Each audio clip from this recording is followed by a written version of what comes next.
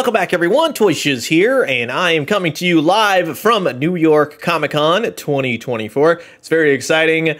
Friday is already off to a great start. I will continue to post coverage, news, videos, the whole nine yards throughout the entire New York Comic Con weekend. So just pop over to my socials Instagram, YouTube.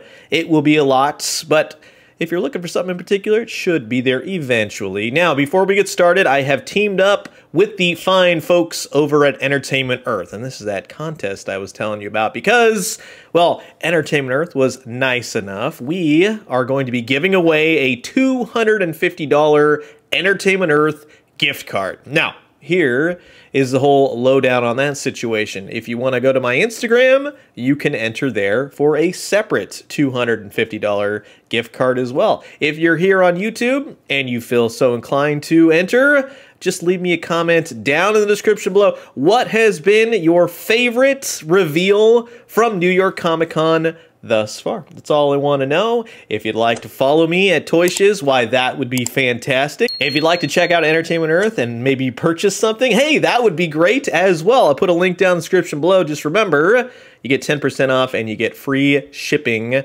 over $100. Otherwise, it's just an $8 flat rate shipping, and that is mint condition. So that is a nice little additive to that. Do says so myself. So go ahead, enter here on my YouTube. Head over to Instagram. Enter there. That's 500 big ones that you could potentially win. I don't think I'll pick the same person, but you never know. You never know. It's New York Comic Con.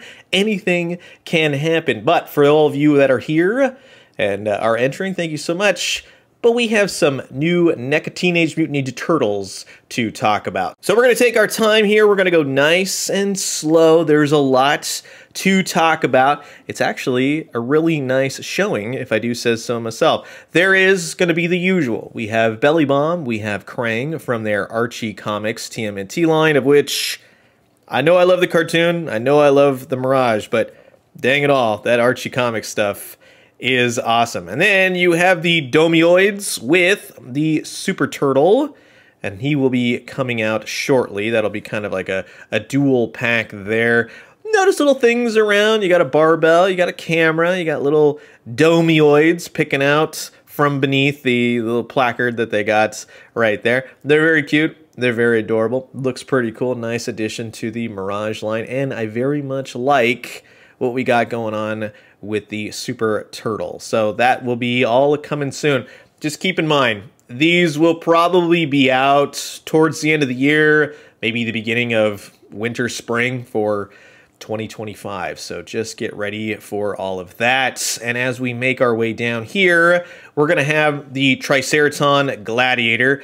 I will have a video up on these shortly, I promise you that.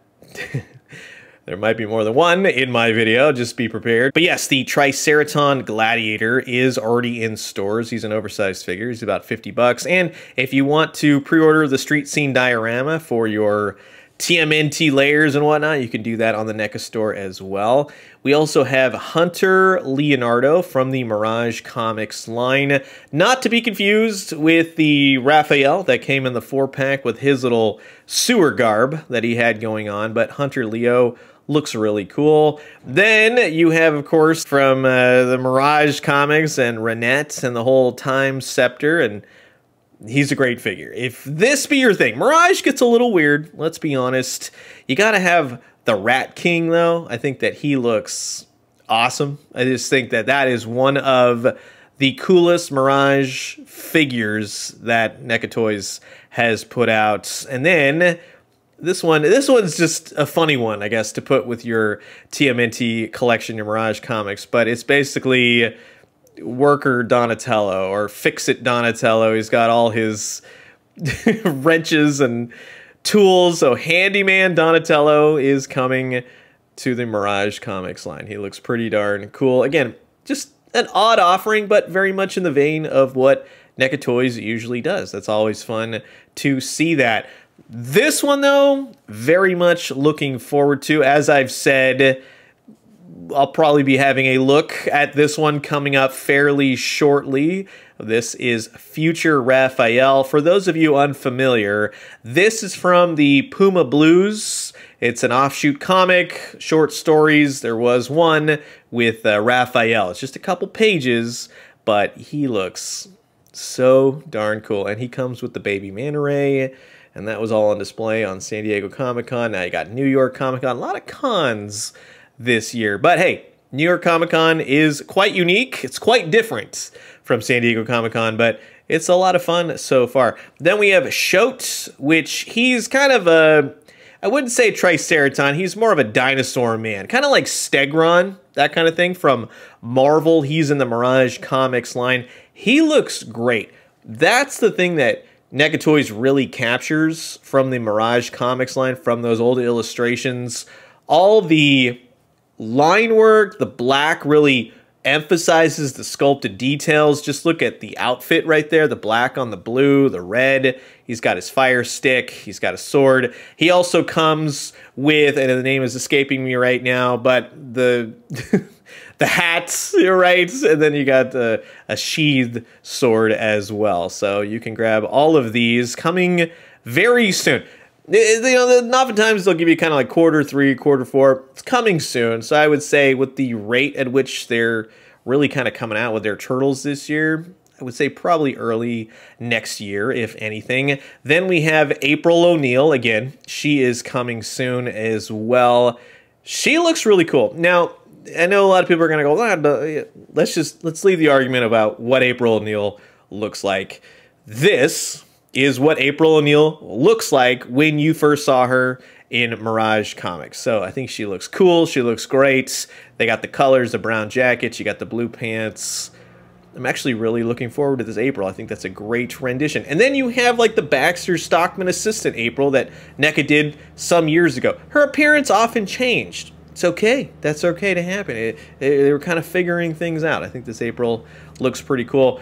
And then this is very cool. We have the Jim Lawson Professor Obligato Utrom. He's got his hat, his pipe, his brush. I like that they kind of made this Utrom more in the Lawson style, just the angular look that he eventually adopted more later on when he was drawing the Turtles.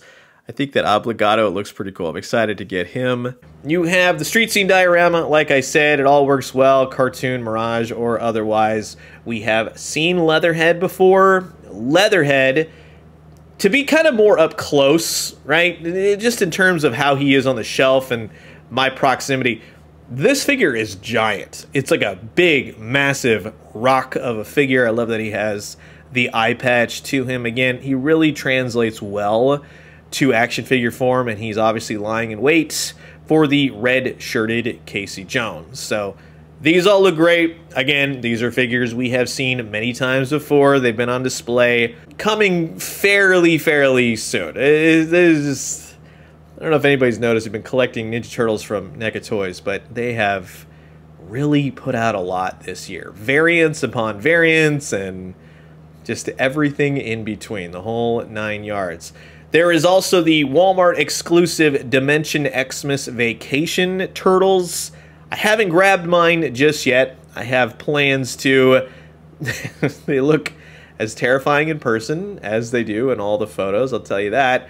They will also be doing the 2012 Teenage Mutant Ninja Turtles, specifically on display Michelangelo and Leonardo. You can see Ice Cream Kitty right there. I think that that's adorable. It's kind of like Klunk and that's their own little version, their rendition for Michelangelo's kitten. You have the skateboard, multiple heads, multiple weapons. I like the sculpts on these. Here's my thing though. I love how they really captured the cartoony aspects, especially in the eyes. When Playmates first did these for the 2012s, the feet were wrong. They corrected them later. The NECA Toys have those going this time around. They had very distinct animated looking feet.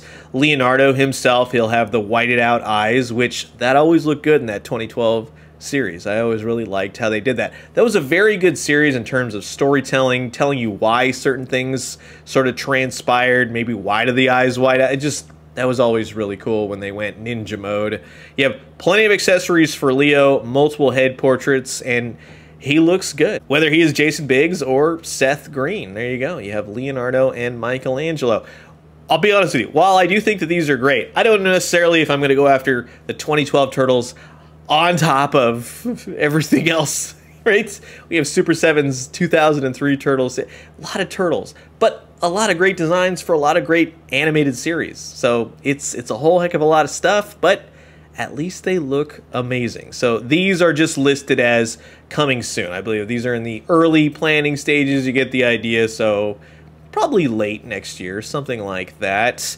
We also have uh, better looks at some of the figures that we saw on display at San Diego Comic Con, i.e., Tattoo for the cartoon animated line. I think he looks great.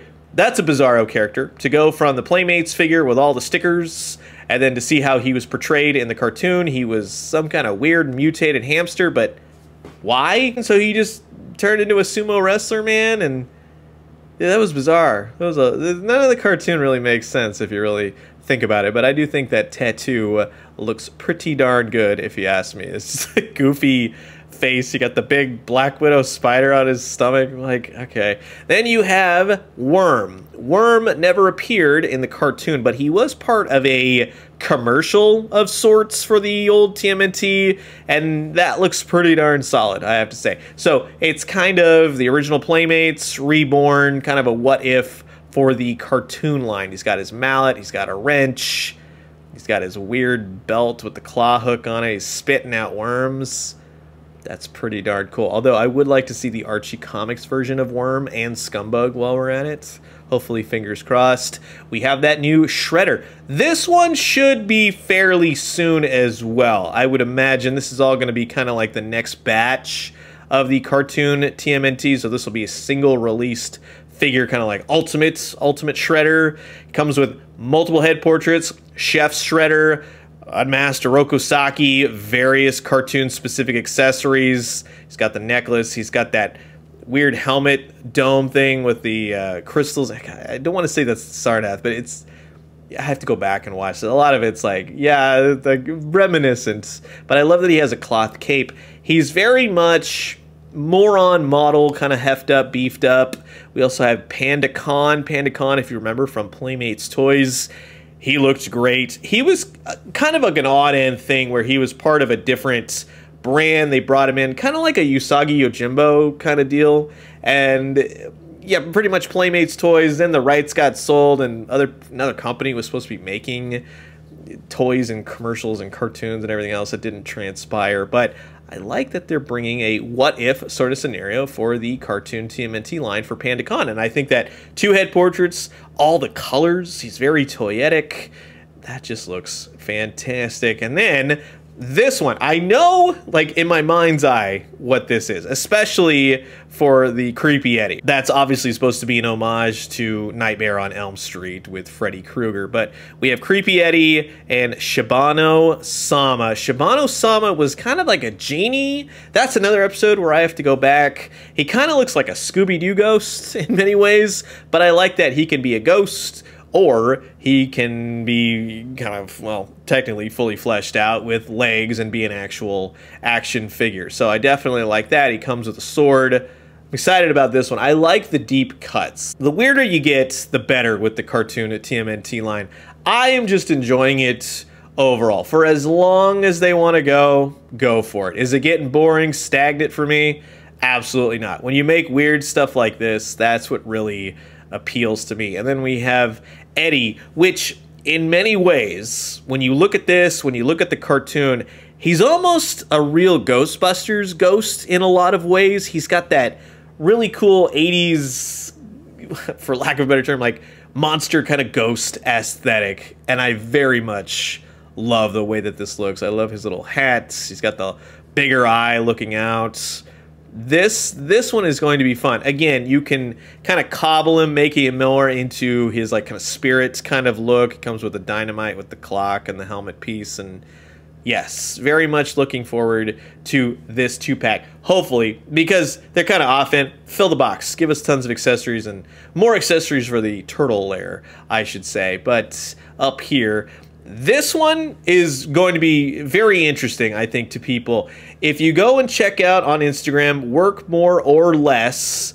you can read up on him, see his work. He does amazing photography, everything else. This is his creation of Leonardo, kind of a what if for the whole cartoon TMNT line, like a dark Leonardo kind of deal. And they're going to be debuting it in the new comic book for the Saturday Morning Adventures. It'll be an action figure. Bravo, sir. I think you did a great job on that, and I'm very happy for you. I think that that is quite cool. It's kind of like a bondage Leonardo in many ways, but I like it. I think that that kind of comes across as interesting. Very much how a 80s sort of Leonardo, a dark Leonardo. You know, all these characters now they have dark versions. Everybody's got to have that. I've said it once. I've said it before. The Last Ronin. I know everybody loves it. Not a huge fan of the book. I have not read the sequel series just yet, but I am a fan of what NECA Toys is doing with the action figures. I think for me, that's just resonates the best. It's always with these, and I know a lot of people say, no, it's the actual future of the TMNT. It's still a what if. We, we don't want to see our characters die. But we have this new set right here of the Night Watcher turtles from TMNT, The Last Ronin, and I think that those look pretty cool. These are coming soon, and I would say they're coming relatively soon, probably early next year. The head portraits, the grayscale darkened tone with the red accents really make these pop. The videos don't do them justice to kind of see them in person. You'll definitely dig these if you're a Last Ronin fan. And then we have Grammy April and the two new Turtle Bros. Again, I have not read the Lost Years and how the new turtles are kind of functioning. I know this is like we always say old man. This is old woman April, I guess you would say. Granny April. I think that, comes across as better. You have her two little sidekicks right here. They are articulated. And so, yes, Grammy April and Baby Moja and Baby Yi will be quarter two of 2025. Everything keeps coming up faster and faster. I mean, it's going to be Christmas before you know it. Stores are already thinking it's Christmas. And then you have, and this is kind of cool. This is, and I, let's be honest, I know it's Last Ronin in my head. When I was kind of looking at this, I thought it was Shadow right? And then I go, oh, wait, no, of course, that is uh, not Shadow. This is Casey Marie and her motorcycle. So it's like the daughter of April and Casey Jones. If I'm not mistaken, you can you can definitely correct me down below if I'm wrong. But she looks cool. She's got a whole cloth goods outfit going on. She's got some wild, kind of spiked out anime hair, and then she's got a cool motorcycle. So again, if you're a fan of The Last Ronin, they definitely got you covered. There's so much stuff coming for the last Ronin because it's really selling well. For me though, personally, the biggest thing on display is going to be these Archie offerings. And I just did Belly Bomb and I was just talking about the Krang Shredder, even though it says Kang Shredder. But yes, it's from that specific arc and Krang and Belly Bomb basically take over Shredder's body. And this is the Shredder that I know and love next to the cartoon one. It's a blue outfit. That's his colorings for the Archie Comics line.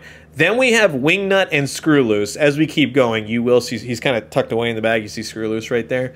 Not to worry, we will get a proper look at old Screw Loose. But I love Wingnut. I am so happy they are doing the Archie Comics version of Wingnut. They got the wild eyes, the tongue, the nose.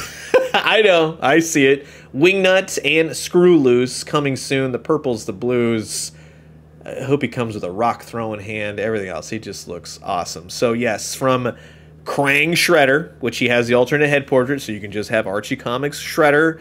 Hopefully, we get Verminator X and everybody else that goes with it. Maybe some Sons of Silence. Oh man, Let, us hope we get Sarnath. Ah, I, I know they're gonna do it. They're they're gonna do all these crazy. You don't even have to ask. They're they're just on top of it. So I'm gonna tell you all: go out today and buy an Archie figure and support this line because this is the one after the cartoon stuff now that I desperately want to see them just keep going, just keep going. And right before we get to Belly Bomb, let's come around the corner here and I will show you how Screw Loose kind of fell over. He's kind of dangling there. So I'm going to ask Monsieur Blainer to uh, open up the case and maybe fix him up, get him going. But he has the rock in his hand as well. If you notice Belly Bomb, Belly Bomb is the cover uh, colors. He was a little bit different on the cover of the Archie comics issue of which he's pretty much debuted. It was that specific arc, but he's blue. He's got the yellow pants. He's had that pinky purple shirts. He looks awesome, and he's going to come with Krang. So it's going to be just just basically a repaint. So if that's not your thing, I totally understand. The one that we got is is the usual colors, the normal colors of Belly Bomb, but the blue is just very much the cover look. So Belly Bomb cover variant, yes. I will be grabbing that because I'm just a huge Belly Bomb fan. It's my favorite character ever made, of course, right? Every character is my favorite. I hear that a lot. Right? Oh, they made my favorite favorite character. No, he's just a character that looks so awesome. So glad that they made a figure for him. I'm really hoping that they're going to make this ring a reality. I think that'd be really cool. It's just a mock-up model. But to really drive home the introduction of Ace Duck, well, you got to build this ring and have him toss an old Raphael around. Now, if I'm not mistaken, I believe Mad Hatter, watch him on YouTube, awesome dude, lovely guy. Uh, he debuted this, uh, or sort of the, the, the prototype at San Diego Comic Con, but here he is all painted up, ready to go. They really nailed his just douchey sort of like head portraits, right? Ace Duck is a vastly different character in Archie comics. He's a wrestler in space. Yes. Hopefully they do Bloodbath. I have mentioned this already. Bloodbath needs to beat the ever loving, you know what? Out of Ace Duck. If we're getting El Mysterio and we're getting Ace Duck, we got to get Bloodbath. Come on, you got to create the stump wrestling arena in general. But like I said, I've asked Blainer here to pull out Screw Loose for us. Always a nice guy. Definitely go check him out on Instagram, Blainer. He's like the best dude when it comes to NECA toys. He always knows his stuff. These figures in these glass cases, much like they always happen to do at home, you don't touch them, you don't look at them. You come into your office one day and everything has just taken a bath. So yeah, that's that's how it goes. So from con to home glass cases, it's always the same. But I love the way Screw Loose looks. We are pretty much, well, almost done with the Mutanimals. Now we just need a regular Leatherhead and we'll be there. And they can all start burning in hell after they were horribly murdered. My God, that was something. Looking into Candy Fine's eyes and seeing all the mutanimals burning in hell. I'll never ever forget that. And so that wraps it up for the New York Comic Con offerings. But before we go, I just want to let everyone know that they've heard everyone online saying they need more movie turtles. So they will be reissuing Casey Jones. Casey Jones will now come with a motorcycle. More tattoos are on their way. Fear not. Do not pay eBay prices. More tattoos are coming. Just be patient. And they're going to reissue Leonardo and Shredder in a two pack. So everything will be coming back out. Just as I always say, just give it time don't spend useless money. Just be patient. You'll get them back. And yeah, hopefully your collections will be a rockin'. Stay tuned for more New York Comic Con coverage. Very much appreciate you all being here. Make sure to enter my Entertainment Earth contest. Win yourself a $250 gift card. I'll have the winners announced on Monday, right after the convention, and you'll get to a buying, hopefully. But in either case, I'll talk to you guys soon. Adios.